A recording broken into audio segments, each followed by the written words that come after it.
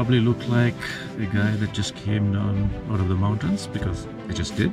This is post summit day. To cut to the chase, I made it. Today's climb was tough 4,000 feet of climbing, 9,000 feet of descent, 17 and a half hours. I got to give a big shout out to Outdoor Adventure Training. I've been in their program for the past 12 weeks. And I must say, they did an outstanding job in helping me get into shape for this adventure.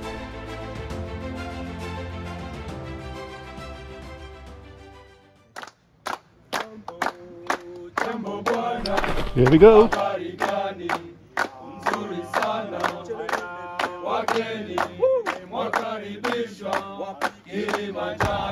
Off we go. It's going to be a big day, about six hours of climbing.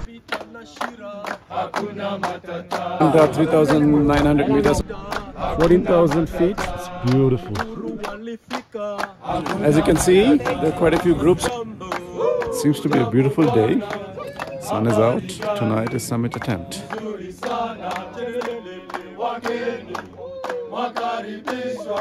We made it!